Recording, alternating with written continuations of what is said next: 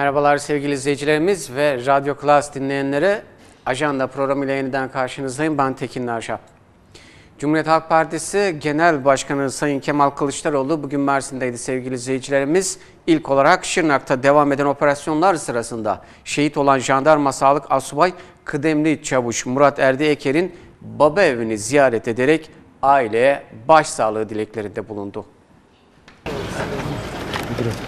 Karşıya geçiyoruz. Ben sandalye başına geçiyorum.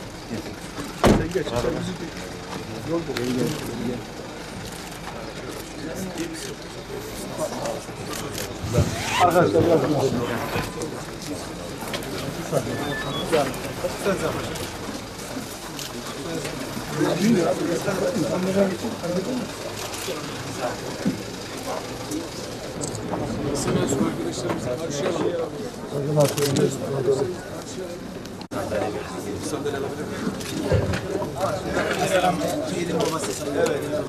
سبحان ربك رب العزة عما يصفون وسلام على المرسلين Şehidimiz Erdi Eker'in ruhu için, tüm şehitlerimizin ruhu için, burada hazır bulunan cemaatinde tüm gelmiş ve geçmişlerinin ruhları için, bilhassa Allah rızası için, rıza lillahi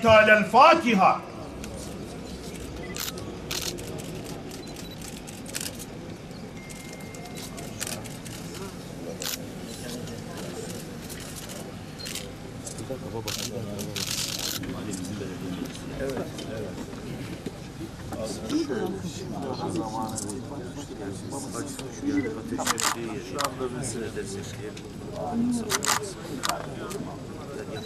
Bir şey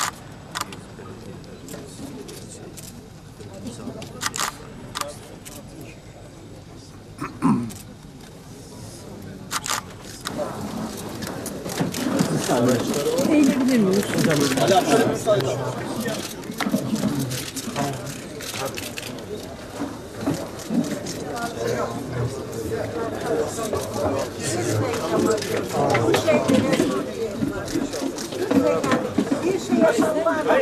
Demiyoruz. Tamam şimdi Bugün bir polis memuru aradı beni. değil. Benden şey adımı soyadımı istiyor. Vermedim diye. Bana küfürleri yağdırıyor. Lütfen. Biz size güveniyoruz.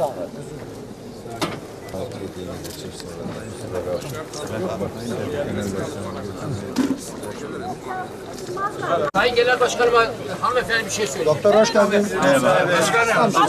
Başkanım. Çok seviyorum. Sizi çok seviyorum. Gidelim.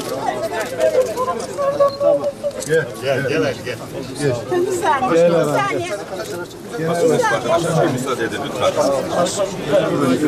Öpmeyin. Öpmek yok arkadaşlar. Teşekkür ediyoruz başkanım. Yani Arkandayız, her zaman. arkadayız.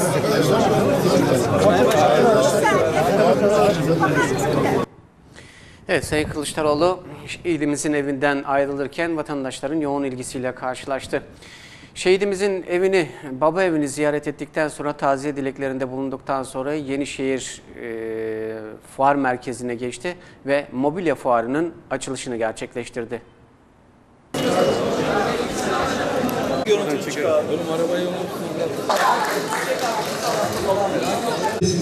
Hizmete açılması sadece Mersin için değil, Türkiye için çok önemli. Mersin'in sadece bölgenin değil, Türkiye'nin de önemli bir markası olduğunu biliyoruz. Tarihiyle, kültürüyle, üniversitesiyle, deniziyle, tarımıyla, bütün alan sanayisiyle, bütün alanlarda göz dolduran bir kentimiz. Bu kadar güzel bir tesisi hizmete açıyoruz. Hepimize, Türkiye'ye, sanayicilerimize hayırlı uğurlu olsun diyorum.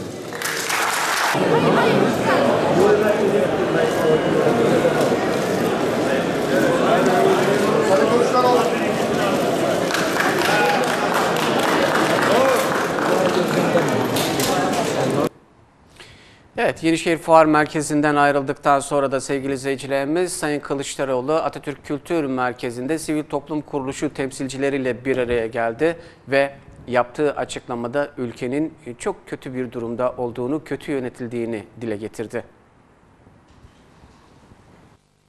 Türkiye Cumhuriyet tarihinin en derin krizlerinden birisini yaşıyor. Dışarıda ve içeride derin sorunlarla karşı karşıya.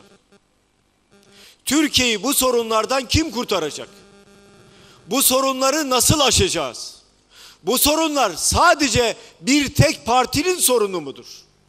Yoksa bu sorunlar bütün partilerin, sivil toplum kuruluşlarının, sendikaların, meslek odalarının ortak sorunu ve beraber ortak hareket etmeyi gerektiren sorunlar mıdır? Eğer bunlar üzerinde uzlaşma sağlıyorsak ortak hareket etmek zorundayız. Bu toplantılarda arkadaşlarımızın büyük bir kısmı konuştu. Benim not aldığım kadarıyla konuşan arkadaşlarımızın sayısı 29 kişi.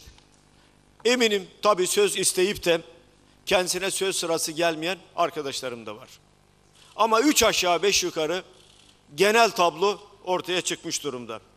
Şimdi değerli arkadaşlarım, sivil toplumun önemi. Siyasetçiler ya da siyasi partiler kendi programlarına göre hareket ederler.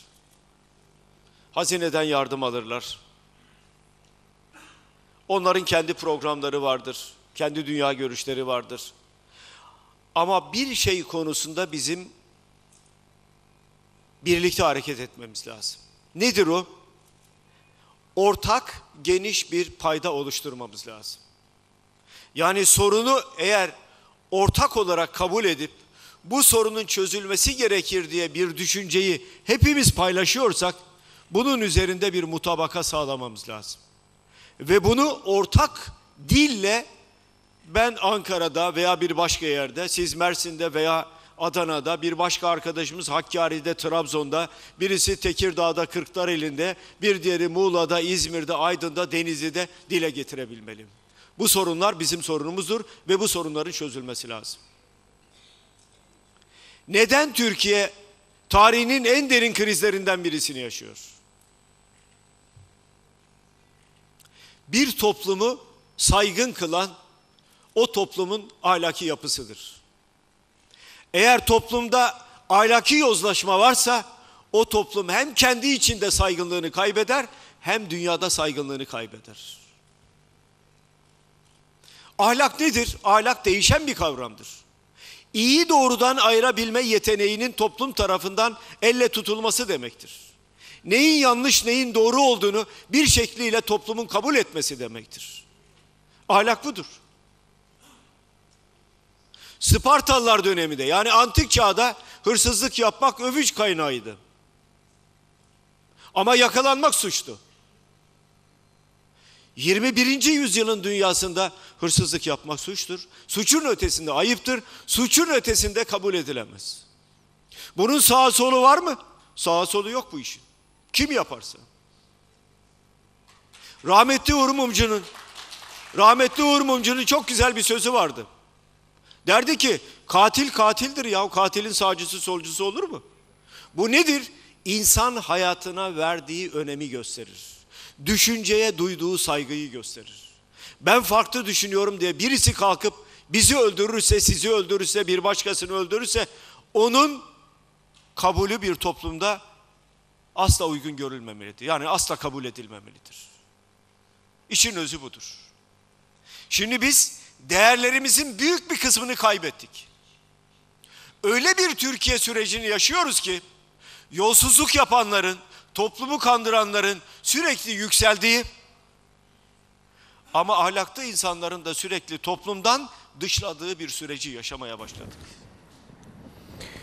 Evet sevgili izleyicilerimiz farklı bir habere geçiyoruz. Deniz Ticaret Odası sponsorluğunda 2015-2016 yıllarında Japonya Kushimoto'da gerçekleşen Ertuğrul Fırkaytay'ını sualtı kazıları projesi kapsamında denizin altından çıkarılan eserler Mersin Deniz Müzesi'nde sergilenmeye başladı.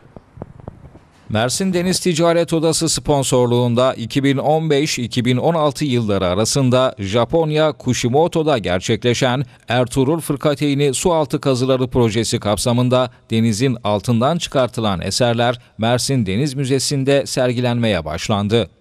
16 Eylül 1890 tarihinde batan Ertuğrul Fırkateyni'nin 550 şehidinin anısını yaşatmak amacıyla başlanan proje kapsamında yapılan Ertuğrul Fırkateyni sualtı kazılarında 2015 yılında su altından çıkartılan ve 2016 yılında Kushimoto kentinde konservasyon çalışmaları tamamlanan eserler 21 Nisan'da Mersin Deniz Müzesi'nde daimi yerlerine konuldu. Mersin Deniz Müzesi'nde düzenlenen törene Mersin Vali Yardımcıları Cezmi Türk Göçer ve Ogün Bahadır, Büyükşehir Belediye Başkanı Burhanettin Kocamaz, Akdeniz Bölge ve Garnizon Komutanı Tuamiral Nejat Atilla Demirhan, Sahil Güvenlik Bölge Komutanı Albay Fatih Erhan, Erdemli Belediye Başkanı Mükerrem Tollu, Milliyetçi Hareket Partisi Genel Başkan Yardımcısı ve Mersin Milletvekili Oktay Öztürk, Ertuğrul Fırkateyni Sualtı Kazıları Başkanı Turan Tufanlı katıldı. Bu bir daimi sergi. Mersin kardeş kenti Kushimoto'nun e, gönderimi sayesinde 340 eser bundan sonra daimi olarak Mersin'de sergilenecek. Koskoca o 78 metrelik gemiden arda kalan fazla bir şey yok. Fakat buna rağmen 11 yıldır süren dalışlar ve kazılar sürecinde 8300'e yakın eser çıkardık ve bunlardan denizcilerimizin anısını bence güzel bir şekilde tanımlayan, anlatan 340 eser bugünden itibaren Mersin'de daimi yerini, elini buluyor. Hayırlı olsun Mersin'e.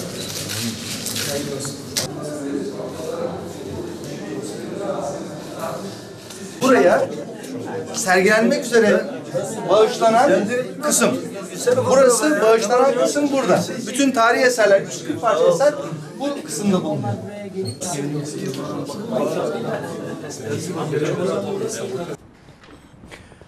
Ve Ankara'ya geçiyoruz sevgili izleyicilerimiz. Ankara'da bu yıl 7 bölgeden 7 coğrafi işaretin sergilendiği ve 5.si gerçekleştirilen Türk Patent Ödülleri töreni ve coğrafi işaret sergisinde Mersin Cezeryesi'nin tanıtıldığı stand büyük ilgi gördü.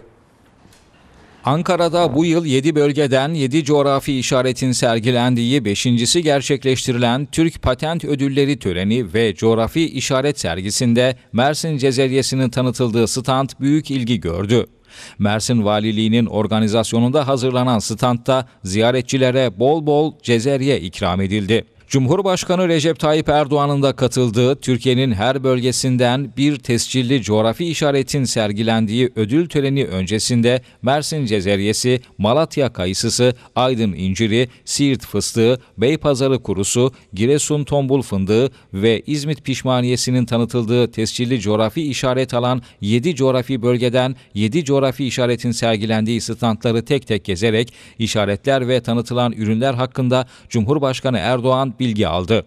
Mersin'in coğrafi işaretiyle simgelenen Mersin Cezeryesi'nin tanıtıldığı standı Başbakan Yardımcısı ve AK Parti Mersin Milletvekili Lütfi Elvan, Bilim ve Sanayi Bakanı Fikri Işık ve Başbakan Yardımcısı Yalçın Akdoğan'la birlikte inceleyen Erdoğan, ikram edilen tescilli cezeryenin de tadına baktı. Erdoğan ve beraberindekiler standın önünde hatıra fotoğrafı çektirdi.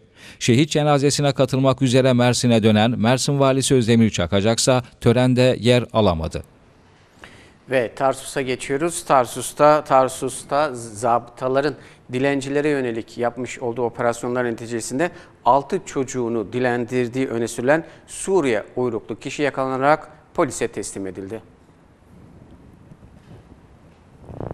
Mersin'in Tarsus ilçesinde zabıtanın dilencilere yönelik operasyonunda 6 çocuğunu dilendirdiği öne sürülen Suriye uyruklu bir kişi yakalanarak polise teslim edildi.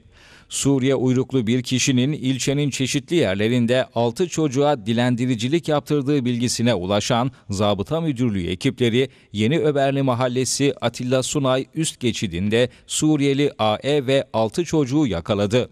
Ekipler şüpheli AE ve 6 çocuğu Tarsus Emniyet Müdürlüğü Yabancılar Şubesi'ne teslim etti. Tarsus Belediye Başkanı Şevket Can konuya yönelik olarak yapmış olduğu açıklamada insanların duygularının istismar edilmesine asla izin vermeyeceklerini belirterek çalışmalarımıza aralıksız devam edeceğiz. Kanunlar çerçevesinde cezai işlem uygulayacağız dedi. Ve böylelikle ajanda programında sonuna geldik. Ee, Pazartesi günü tekrar birlikte olmak ümidiyle hoşçakalın.